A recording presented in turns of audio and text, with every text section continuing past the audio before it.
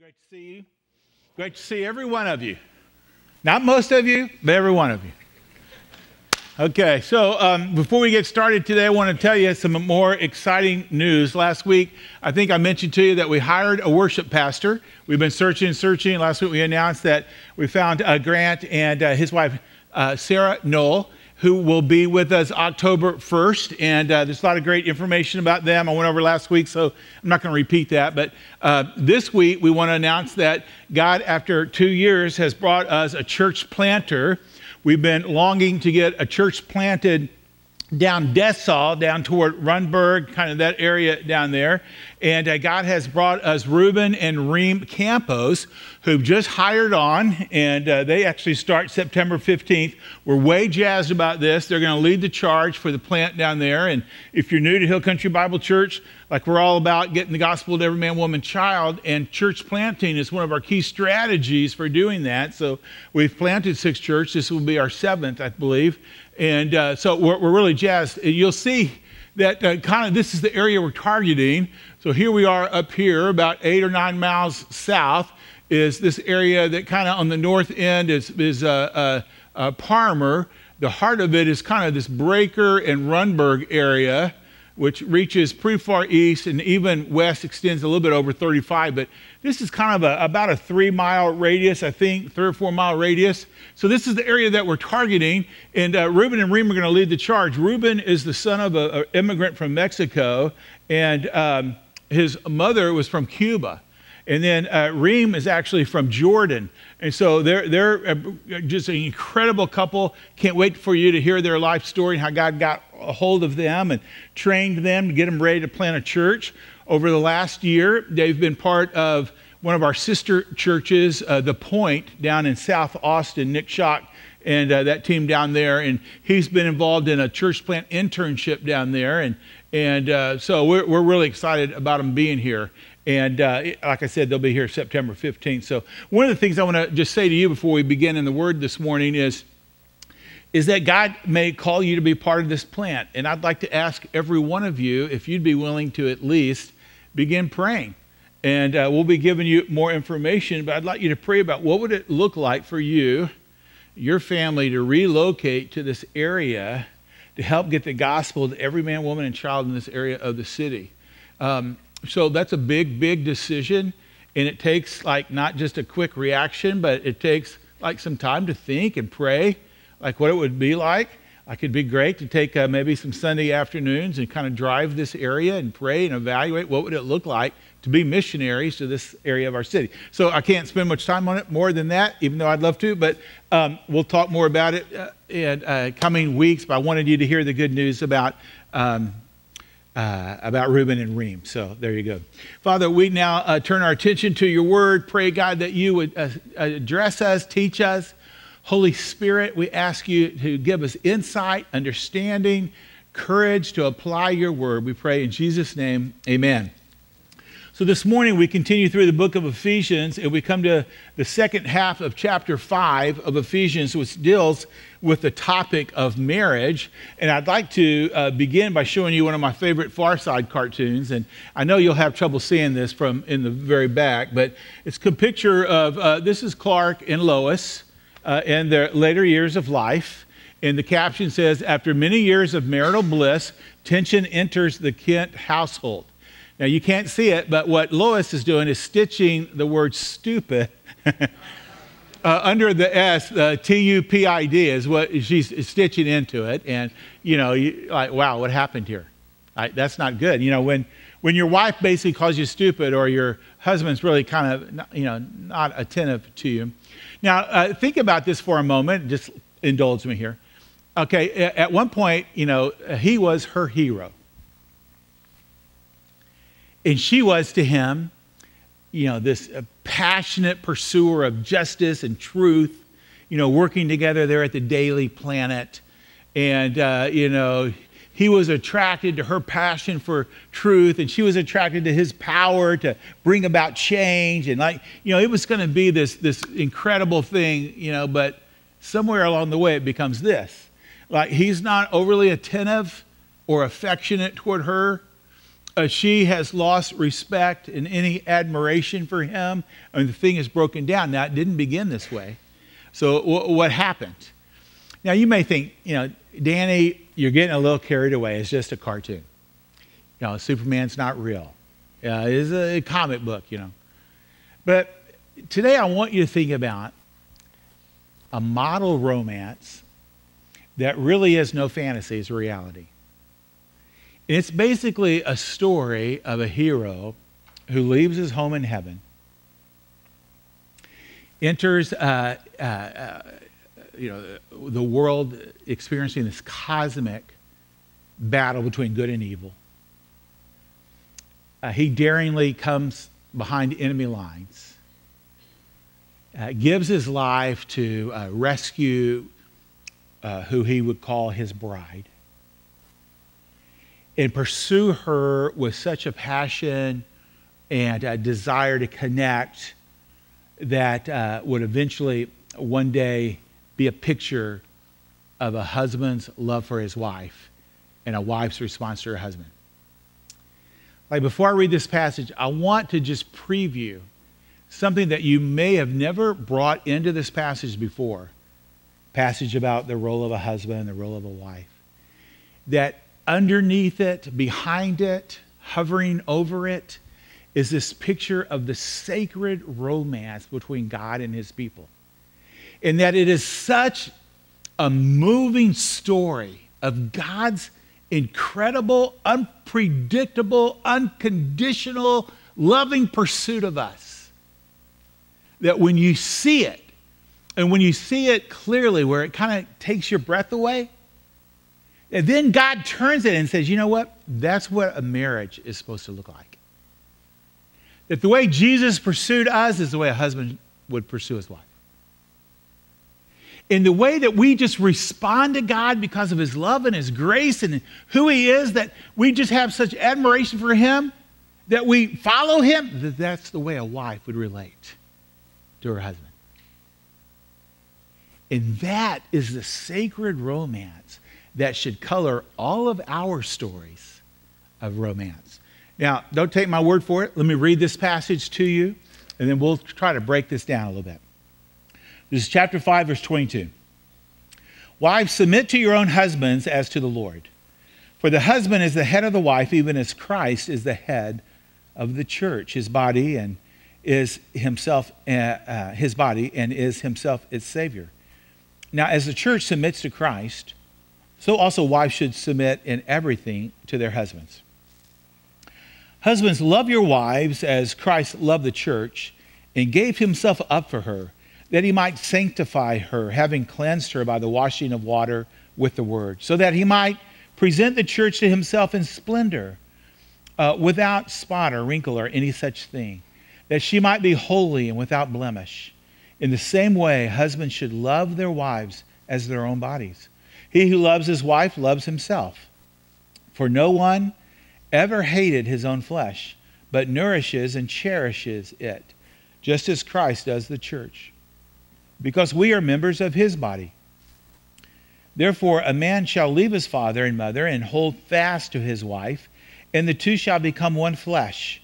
This mystery is profound, and I'm saying that it refers to Christ and the church. However, let each one of you love his wife as himself, and let the wife see that she respects her husband.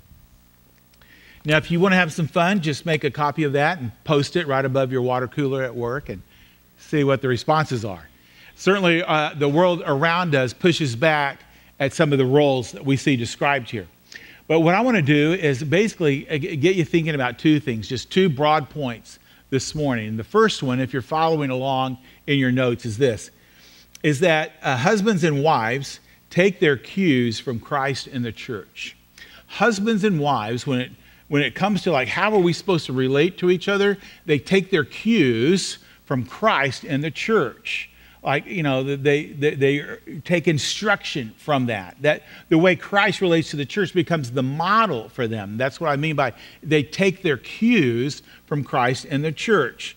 So i want you to consider several points of comparison in this passage there are several points of comparison, like four or five different times where it says, just as, or in the same way, or relate as Christ is. In other words, several points of comparison. We're just going to try to chart these pretty quick just to make sure we, we get them. And then we'll talk about like how in the world do we apply this or what does this really look like in real life. So we'll, we'll look at these points of comparison and then ask the question, well, what is the point of the comparison?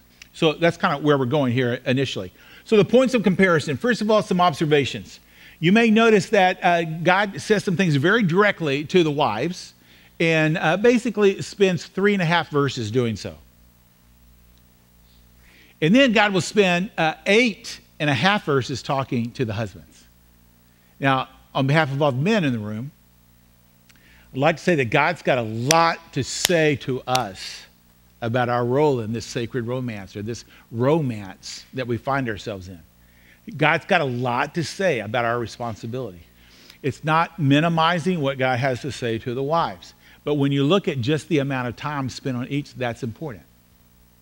Another observation I want to make before we get in is that you never in this passage find God telling wives that they ought to love their husbands. Isn't that interesting? Now, husbands are told over and over and over again to love your wives. In fact, you're to love them the same way that Christ loves the church. Now, um, basically, if you extended your search to all of the New Testament, you would never find a woman or a wife commanded to love her husband. Now, in Titus chapter 2, it's hinted at. Older women are instructed to teach younger women how to love their husbands. So, you know, there's it's not like foreign concept. But what wives are told to do is to basically to uh, uh, respectfully follow their husbands. But husbands are told to love their wives. And we'll explore the significance of that in just a moment. But first, let's walk through these uh, points of comparison. All right, first of all, uh, you know, we're comparing Jesus and the church to husbands and wives. So, first of all, we find that Jesus is the head of the church and that husband is the head of his wife. Okay, that jumps out at us in these first three verses. Wives, submit to your own household, uh, your own husbands, as to the Lord. For, here it's the reason, for introduces reason, for the husband is the head of the wife, even as, comparison, Christ is the head of the church, his body, and is himself its Savior. Okay, the word head just means basically uh, direction, it means authority. That's kind of the idea. Like we are under the headship of Jesus. The head of our church is none other than Jesus. Some people would say, well, now, Danny, uh, is this kind of cultural? I mean, haven't we moved beyond this? You know, the idea of wives being submissive to husbands and husbands being leaders of their wives. Is this not kind of a cultural thing? We've outgrown it. Well, the reason why I would say no to that, or one of the reasons, there's many, but one of the reasons is you see that that relationship between a husband and wife is tied to the relationship between Christ and the church. Like the fact that Christ is the head of the church is a universal, it's not cultural, it's not historical, it's a universal uh, a, a principle, a truth for all times, all places. And so the fact that it's tied to that really has the idea of permanence. In the same way that Christ is always the head of the church, husbands are to always be head of their wives. Now, that may be wild to you, but let me just mention one other passage. You may write down 1 Corinthians chapter 11, because there Paul addresses again this headship idea, and he makes an interesting statement. He says that the head of Jesus is God. In other words, what, he, uh, what we learn there is that within the Godhead, God the Father, God the Son, God the Holy Spirit, remember when we studied this uh, uh, a couple of months ago? Uh, each person of the Godhead, the Father, Son, and the Holy Spirit, they are equally God, but they have different roles. So the Father sent the Son, and the Son sent the Spirit so you have different functions, different roles, but equal value, equal worth, all equally God, different functions. That is displayed very clearly in the Garden of Gethsemane. When Jesus prayed and speaking to his father, said, Father, is there not any other way that we can do this without me going to the cross? Is there not any way out of this? Now, Jesus, being equally God, could have called myriads of angels to rescue him, but he didn't. He submitted to the role of his father and says, Not my will, but your will be done. Equal worth, equal value, but different roles. And that's kind of the idea here is that uh, Jesus uh, is in the, as part of the Godhead, that is, the, the Father is his head, that in the same way that that is permanent and always true, the headship of the husband over the wife. So this is not a cultural thing. Uh, this is for today. We don't expect outsiders or people that are not believers, they're not followers of Christ. Why would we expect them to agree with that? Uh, we, we don't. And we don't make that an issue about becoming a Christian. The issue with people who don't know Christ is to understand the gospel that God loves them and sent Jesus to die for them and offers eternal life to them freely uh, for their response of faith. And then as we become followers of Christ, he begins to teach us what life looks like in all these different areas of our life. So, but for us as followers of Christ, this is what he teaches. All right, second point of comparison is that the church submits to Jesus, uh, that a wife submits to her husband. In the same way that the church submits to Jesus, a wife submits to her husband. So the word submit is a, a it's a combina- combination word. Hupostasso means the idea of under, and then stasso is, is basically to stand or to place. Uh, uh, the word means to be placed under. Okay, so you've got an authority, and I voluntarily choose to place myself under this authority. That's kind of the idea here. I'm not surrendering my identity. Uh, this is no uh, sentence to slavery. This is the idea that I voluntarily, as a wife, would place myself under the authority of my husband. That's what the word submit uh, has in mind.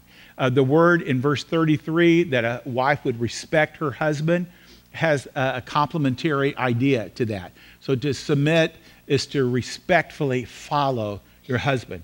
Uh, the third thing here is that Jesus is the loving leader to the church. And so he goes through a pretty lengthy description of how Jesus gave himself for the church in order to present the church as holy and spotless and blameless. And like all of this uh, description is given in verses 25 to like 28 of what Jesus did in pursuit of us, that he's the loving leader to the church. So, husband, uh, likewise, in the same way, it says husband is to be a loving leader to his wife. And finally, the fourth point of comparison is this is that Jesus loves the church, which is his body. And we've been learning that through the book of Ephesians, that the church is called the body of Christ, Jesus being the head of the church. And so, in the same way, husbands are told to love your own body. Like that, that, uh, uh, that husbands are to love their wives as their own body. And so, like, uh, no one like neglects the care for their body in the same way you don't neglect for the care of your wife would be the point of comparison there so um, there's two there's one point to this whole comparison thing. Uh, there, there, there's a point that i want to get to which is this that husbands are to be loving leaders. Husbands are to be loving leaders. We'll talk about wives in a moment but uh, I, I want to just kind of park here for a moment. That, gentlemen, when you think about what God did for us, this is what we're to model, okay?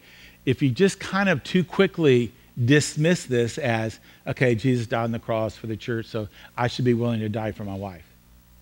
Well, that's a true implication. But it's bigger than that. It's the idea that I give myself completely to my wife for God's very best for her that I give myself completely to her that she might experience God's very best for her life, whatever that is. That's the point. And so when we think about the divine romance, the great big narrative of the Bible, of that God who, after we had rebelled against him, committed high treason, and find ourselves in this broken world when God could have said, Well, you made your bed, now lie in it. Instead, he set into motion a rescue plan that moves from chapter 3 of Genesis all the way through the end of Revelation. And it's a plan that centers around the sending of Jesus as our Savior. So even though God like creates us, sets us in this perfect environment, that the enemy is already present. And as the curtains unfold in Genesis, that angel that had rebelled against God, Lucifer himself, has been thrown out of heaven with a third of the angelic host. And he's present when the curtains are drawn back in Genesis. And the man and the woman find themselves in a cosmic battle between good and evil. And the tempter tempts the woman, and the man follows in her failure, and they rebel, and everything goes crazy. But Jesus comes into this environment, crosses enemy lines, penetrates to rescue and to redeem us. And, gentlemen, that picture of a romantic pursuit of your wife is what God has in mind. In fact, I like what John Eldredge says later in his book. He says, uh, Who am I really?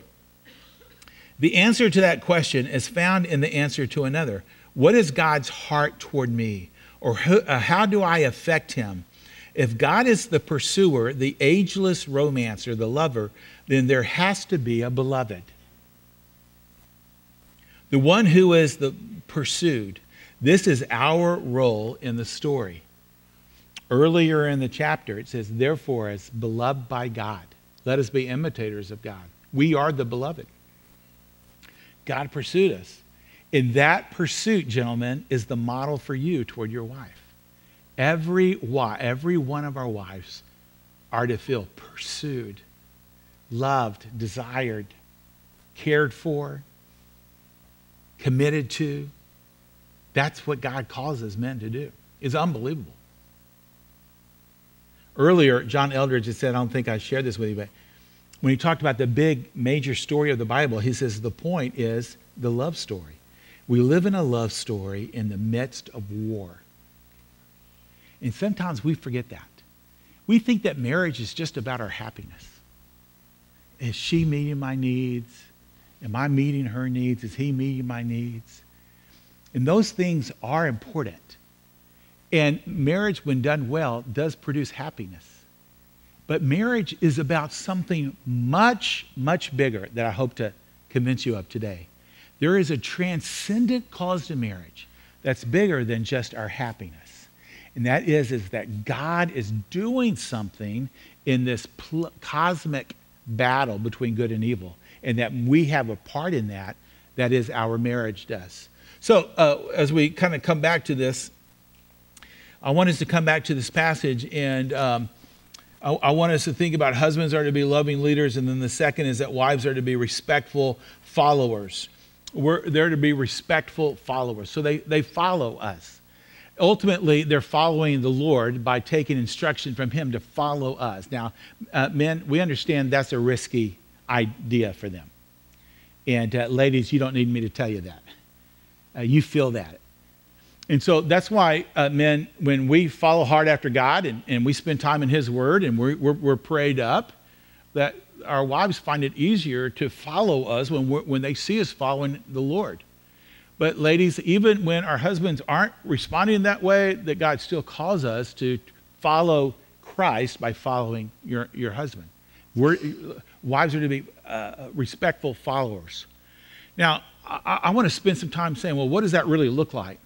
Because it seems like that whole idea comes into play, especially in the area of decision making. When you're faced with big decisions, like what should we do for our kids for school this year?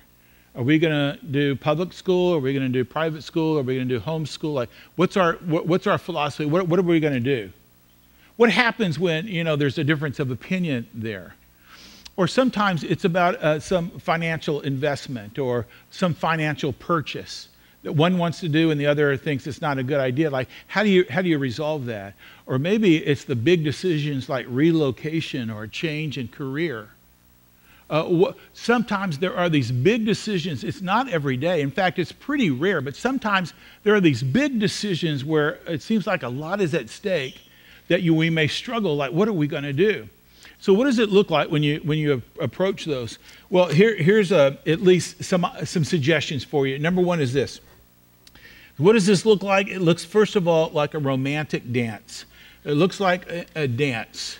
So some of you are into dancing, some of you aren't. Some of you are, are, are, really good dancers, some of you are not. I'm one of those that are, I'm not a good dancer. But I know this is that when I take my wife in my arms, I'm supposed to lead. I can't even I can't even do it up here by myself, solo. One of us is supposed to lead and the other is supposed to follow, right? And it is in the context of love where one is leading, one's following, because if you both try to follow, it breaks down.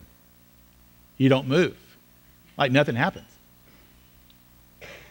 If you both try to lead, it doesn't happen, it breaks down, it, it won't work. And that simple analogy is really, in my mind, a profound picture of what God intends.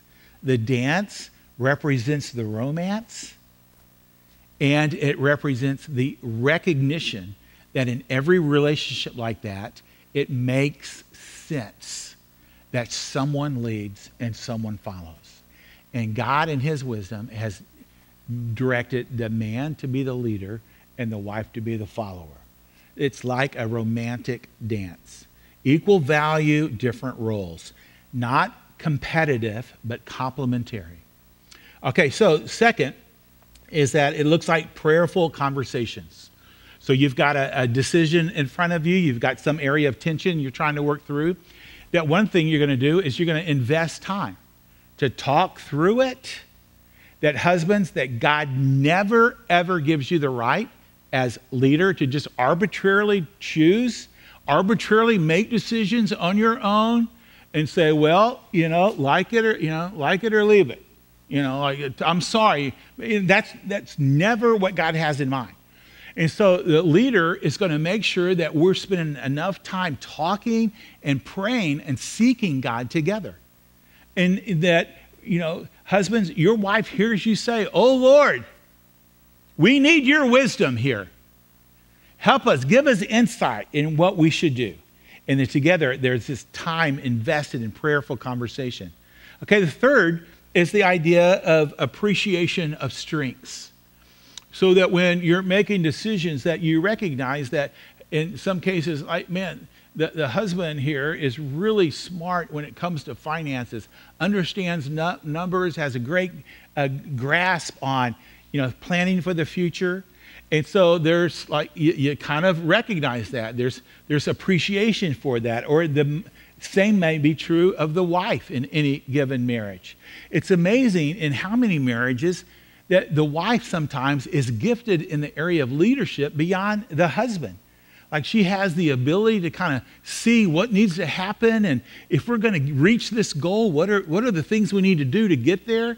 And that she's got ability and capability there that a husband will recognize and appreciate and lean into. So the idea of leadership is never lordship. It's never me being solo to make all the decisions by myself. And so I really recognize, uh, first of all, we're going to have open discussion, prayerful discussion, but then I really want to honor the strengths of anyone in the marriage. Uh, the fourth one is just the idea of dependence, that both the husband and the wife are dependent on God in their decision. Now, you know, wives, you may think, man, we're really dependent. Because if he makes a decision that maybe it's not the decision I would have made, I've got to trust him, like, oh man, I've got to be so dependent. Your dependence has got to begin with with God, that you, you, you depend on him. Your welfare is ultimately in God's hands, so you depend on God as you follow your husband. But let me tell you, husbands as well, who really love their wives and are tempted just to do whatever their wives want to keep them happy, or because they love them so much that sometimes for a man, the easiest thing to do is just to do what the wife wants. And I would say, whenever you can, do that. But when God is leading you elsewhere, when God is saying, no, this is what needs to happen, then you've got to depend on God and say, God, I know that this is this may cause some friction or this this is hard. And God says, just trust me. You got to trust me. And so it's not just the wives, it's the husbands as well. It's both and who have to be really dependent on God for the decision making here. Now, Kathy and I, we haven't done this perfect. We do pretty well uh, over our 39 years. I think it's 39. It's 39. It's definitely 39. if you see her, you tell her I got it right. 39 years. So, um, you know, there are a couple of things I, we were texting this morning. And I said, So, what are, some, what are some decisions that we struggled with? And she wrote me back one and gave me permission to, sh- to share it, so I will. She said, I remember when Jake and Ben were in college, they went to a, a and uh, don't hold it against them, but they, they went to Texas A&M. They were roommates up there, and, and uh, we had a deal where we were good for half the cost, and the other half was on them. And so occasionally, you know, Kathy would be in touch with them, calling them, and, and getting the feeling like, man, they're really struggling. They're out of money. I mean, they don't have anything to eat. I mean, she, you know, she just had this idea. And she'd say, Danny, uh, is it okay if I send a check to them? And I would say, sweetheart, listen, we can't, they, we, can't be giving them, this is the deal. And what we want to do is teach them how to manage their resources. They've got to budget and manage. We can't like just kind of be bailing them out. And so I, I basically said, no, we're not going to send any money. So um, in one instance, she sent them money anyway. Uh, first hour, uh, Murnell in the front row went, oh, Jesus, like that. it was very funny. I said, Murnell, would you like to talk to Kathy about this? Um, anyway, so she sends the money anyway. And then she felt so bad. A couple of days later, she comes, she's crying, confessing, I know you said don't send me money, but I sent them money anyway. I know I shouldn't have. And, and so like, we're talking through this. And I just said, well, you know, darling, do you know that Jake just last night took his girlfriend like to some concert in Houston? Like it takes money to do that. So uh, lesson learned there. She felt really bad about that. I'll tell you one on me. So Kathy, she's looking to me to, as part of leadership to make sure that we're planning adequately for our future. And so she would say, uh, "So how are you feeling? Like are our plans pretty good for the future?" And I would say, "Yeah, I think so." Uh-huh. And uh, you know, how? Why, why, would you question me about that? That kind of attitude, you know. And uh, I, I know that's bad, but she would occasionally, you know, bring it up again. How are we doing for the future? What's our plan? I said, well, it's all in motion. It's all in place. And then finally, I said, okay, well, look, let's go sit down with a financial counselor. We sit down, and what we discover is that uh, uh, one of our primary retirement accounts, uh, we've been socking uh, some money away, but apparently they were waiting for me to give them direction into like what, uh, what kind of investment to direct those funds. They, they've just been gathering and holding in, in an account that wasn't really drawing any interest or anything. And when he explained that to me, unfortunately, Kathy was sitting next to me. and there was this moment where my failure here became obvious. And Kathy was she was real gracious about all that, but you know, there's times when we men we're, we're leading, we think we're leading, we need to be leading and we fail to lead. Like that, that's going to happen because we struggle with sin. Like we, we don't do this perfectly. But let's not let that take away from this as God's standard. This is what God calls us to. And so, men, we're growing and loving and leading our wives. And as wives, we're growing in how to respectfully follow our husbands. That's what that God has in mind. Okay, we need to move to the last point, which to me is the most exciting point personally in the passage, and one that I think uh, uh, is often neglected. And that is simply this: is that uh, as we first saw that husbands and wives, uh, we take uh, our cues from Christ in the church, but the second is husband and wives give off clues about Christ and the church. Husbands and wives, um, we give off clues. In other words, we model that we become a picture, we become a mirror to other people of how Christ loves his people. That there is this idea of, of a purpose, this transcendent cause behind marriage. Two statements. First of all, marriage is a mystery. Marriage is a mystery. Uh, Paul moves to, in his argument to verse 31 and says, Therefore, a man shall leave his father and mother and hold fast to his wife, and the two shall become one flesh. Now, he's quoting from where there? He's just taking right out of Genesis 2, right? First marriage, that's how it's described. Uh, Adam is told to leave his father and mother, or, or basically that first marriage becomes an, an opportunity to instruct about marriage from then on that a husband, a, a man shall leave his husband, uh, leave his father and, and his uh, uh, mother and become one. That whole leave and cleave idea. And they become one flesh. That total intimacy, spiritually, physically, emotionally. And then watch what he says.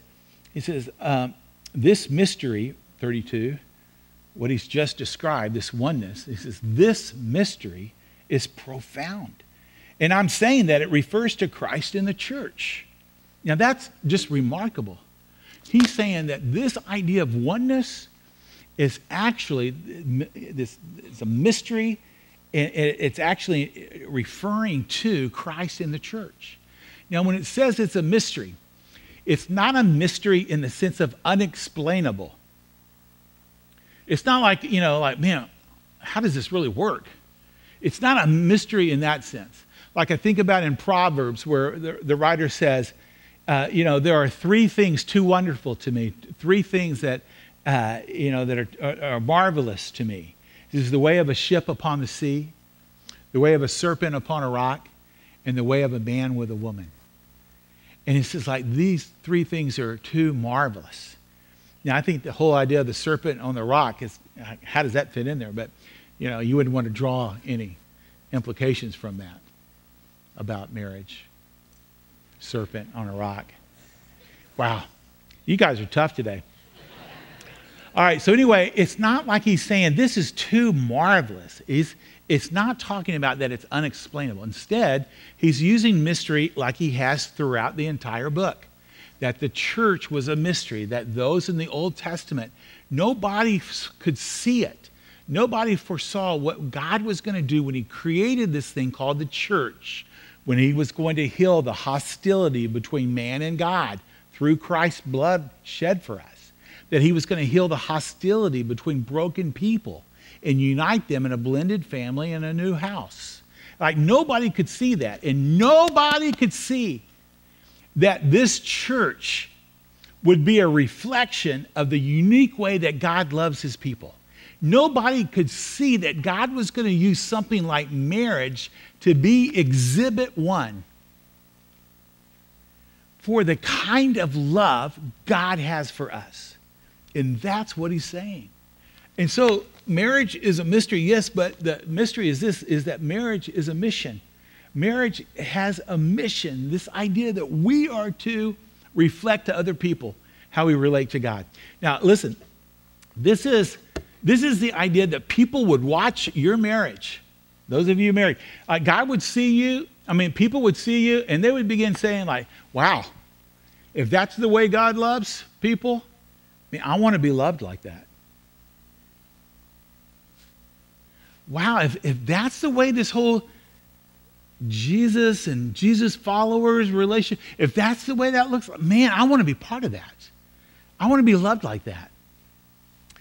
Uh, there's a popular song out, or I guess it's still popular. I, I don't know. It's a country music song, and, and, I want the record to show this is the second week in a row that I've quoted a country music song because I think I've told you that I believe country music is the soundtrack of hell.